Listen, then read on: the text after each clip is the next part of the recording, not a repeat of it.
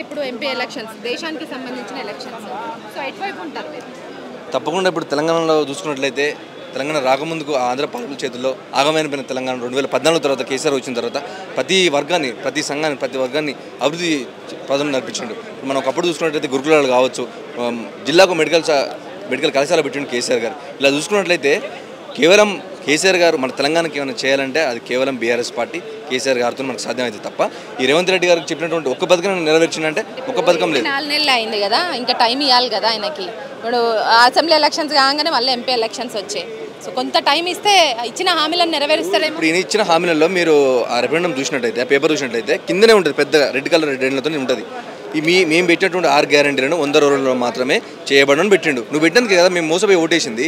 ఇప్పుడు నువ్వు ఆ ప్రలోభాలు చేయకపోతే నీ నీ దొంగ వాగ్దానాల వల్లనే కదా మేము నీకు ఓటేసింది. నువ్వు వంద రోజులు చేసానంటేనే మేము నీకు ఓటేసినాం కాబట్టి కేవలం ఇప్పుడు ఇప్పుడు మనం చూసినట్టయితే ఒక ఒక ఒక వైపు తెలంగాణలో ఉన్నటువంటి ప్రతి ఒక్క రైతు నీరు అందలేదని చెప్పేసి ఆగమయ్యి వాళ్ళ యొక్క పంటను మంటతో కాలబెట్టుకున్న పరిస్థితుల్లో నువ్వు కేరళ వైపు ప్రచారం చేయని కదా నేను గెలిపించుకుంది. నువ్వు ఇక్కడ ఇక్కడ ఇక్కడ రీసెంట్గా నిన్న జరిగినది మీకు తెలుసా?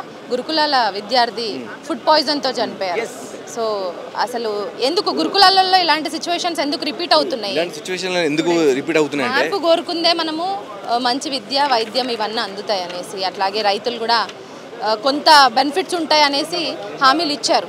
సో అవన్నీ నెరవేరినాయా గ్రౌండ్ లెవెల్లో ఇప్పుడు గ్రౌండ్ లెవెల్లో ఇంకా గ్రౌండ్ లెవెల్ ఎక్కడిది? కేసీఆర్ గారు ఉన్నప్పుడు ప్రతి శాఖను ప్రతి శాఖను ఆయన చేతిలో పెట్టుకొని ప్రతి ఒక్కరికి భయ ఒక రకంగా ఇన్స్ట్రక్షన్స్ ఇచ్చి భయం. కేసీఆర్ గారు అంటే ప్రతి ఒక్క గవర్నమెంట్ అధికారి కావచ్చు ఎవరైనా కావచ్చు భయపడ్డారు. కేసీఆర్ కేవలం కేసీఆర్ గారు ఉన్న ఇప్పుడు భువనగిరిలో చూసుకున్నట్లయితే కేసీఆర్ రాముందుకు విద్యార్థులు ప్రతి ఒక్క విద్యార్థి గురుకులలో దొడ్డు బియ్యంతో తిని కడుపు నొప్పి వేసుకొని అనేక రోగాలు పాలవుతుందని చెప్పేసి కేసీఆర్ వచ్చిన తర్వాత సన్న బియ్యం ప్రతి ఒక్క విద్యార్థికి కేసీఆర్ గారు ప్రత్యేక చొరవ తీసుకొని సన్న బియ్యం అందించిన గొప్ప వ్యక్తి కేసీఆర్ గారు. ఈరోజు ఈ ఈయన ఇప్పుడు ఈయన ఇప్పుడు అంతా రేవంత్ రెడ్డి గారి పరిపాలనలో గందరగోళమైన పరిస్థితి. కేవలం కనీసం నువ్వు బువ్వకు సరిగ్గా పెట్టకపోతే నువ్వు ఏమిటికి సీఎంగా ఉండి? ఇదే కేసీఆర్ గారి హయాంలో ఎందుకు ఇట్లా జరగలేదు? నువ్వు వచ్చిన కొన్ని నెలలకే ఎందుకు ఇట్లా జరుగుతుందంటే నువ్వు వచ్చిన కొన్ని నెలలకే ఇంత దారుణంగా పరిస్థితి ఎందుకు అంటే నువ్వు పట్టించుకోవట్లేదు కేవలం నువ్వు తెలంగాణ నుంచి ఢిల్లీకి ఢిల్లీ నుంచి ఇక్కడ రావడం వరకే నీ పని సరిపోతుంది. కేవలం ఇక్కడ నుంచి ఇక్కడ ఉన్నటువంటి బిల్డర్లను కావచ్చు ఇతరులు ఏమంటారు బిజినెస్ సంబంధించిన వాళ్ళని బెదిరించి కేవలం నీ ఢిల్లీలో ఉన్నటువంటి అక్కడ ఉన్నటువంటి సంచులు నింపడానికి నీకు సమయం సరిపోతుంది తప్ప ఇక్కడ ఉన్నటువంటి విద్యార్థులను కావచ్చు ఎవరిని పడుచుకునే సమయం లేదు కాబట్టి ఇలా ఒక విద్యార్థి చనిపోయిండు. ఇప్పటి వరకు కూడా ఆ జిల్లాలో ఉన్నటువంటి మా జిల్లాలో ఉన్నటువంటి మంత్రులు ఒక్కరు ఎమ్మెల్యే కావచ్చు మంత్రి కావచ్చు ఇంతవరకు వారిని ఎవరు కూడా అక్కడ స్పందించలేదు. కనీసం ఆ కుటుంబం దగ్గరికి వెళ్ళి అయ్యా మేము చేసినటువంటి అక్కడ ఉన్న అధికారులను కావచ్చు కేర్ కావచ్చు ఆ మెస్ టేకర్ కేర్ కావచ్చు ఒక్కరు కూడా ఇంతవరకు వాళ్ళని శిక్షించే దా- దాఖలు లేవు. కాబట్టి కేవలం తెలంగాణలో ఏమైనా జరగాలంటే అది కేసీఆర్ గారు వల్లనే. ఇప్పుడు ఇప్పుడున్న ఎంపీ ఎలక్షన్లో కూడా మేము ప్రతి ఒక్క తెలంగాణలో ప్రతి ఒక్క వ్యక్తికి చెప్తా ఉన్నాం వీళ్ళు ఇస్తారనేటువంటి రెండు ప్రతి ఒక్క ఆడబిడ్డకు రెండు వేల ఐదు ఇచ్చారా? లేదు. కనుక మీరు కాంగ్రెస్ కోటేస్తారా? కేసీఆర్ కేసీఆర్ ఆలోచించుకోవాలని. ఇదే ఇదే పక్కన ఇంకో విషయం ఏంటంటే ప్రతి విద్యార్థికి ఐదు లక్షల రూపాయలు మీ అకౌంట్లు వేసి మీ ల్యాప్టాప్లు కావచ్చు మీకు ఫీజు కట్టుకోవడం కావచ్చు మేము ఆ ప్రభుత్వం రాగానే మీ ప్రతి ఒక్క విద్యార్థి అకౌంట్ ఐదు లక్షలు వేస్తామన్నారు ఎక్కడ వేసారు తెలంగాణ ప్రజల తస్మాత్ జాగ్రత్త మన తెలంగాణ రాష్ట్రానికి ఏమైనా చేయాలంటే అది కేవలం కేసీఆర్ వల్లనే సాధ్యం బీఆర్ఎస్ పార్టీ వల్లనే సాధ్యం.